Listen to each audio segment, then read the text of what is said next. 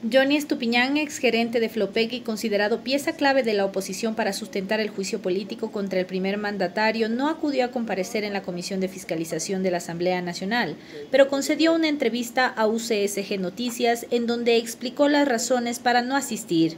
Desgraciadamente, pues la Comisión de Fiscalización está parcializada, por eso no asistí a la comparecencia, porque me pidieron que vaya a responder preguntas.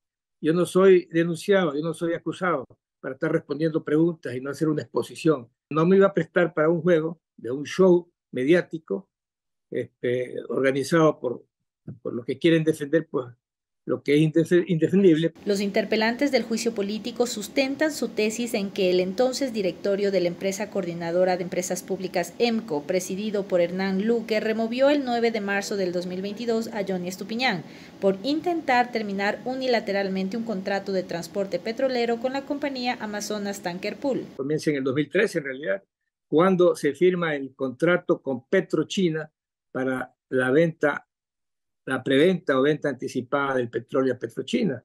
Se aprovecha un grupo de estos intermediarios para asumir el transporte del petróleo eh, y crean unos, eh, una empresa.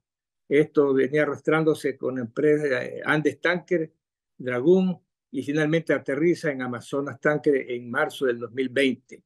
Y eso es cierto.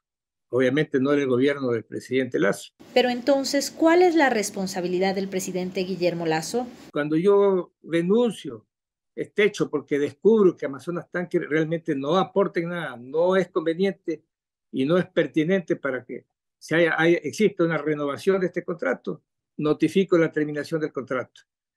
Eso ya es dentro del periodo del presidente Lazo. Y la pregunta es, ¿por qué no lo hace?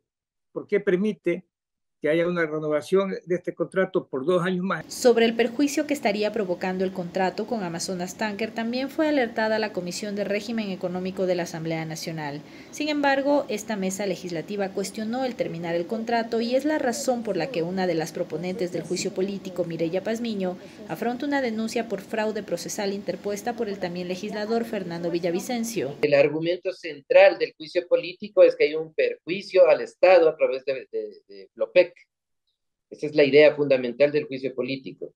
Pero hay un informe de la propia asambleísta Pazmiño antes de que se inicie el juicio político donde ella señala que no encuentra ninguna irregularidad en el caso de, de, Flopec, donde está incluido Amazonas Tankers. Entonces hay una contradicción abierta.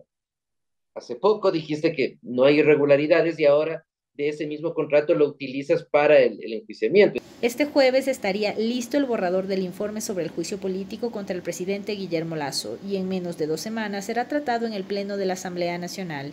Para UCSG Noticias, Adriana Bermeo.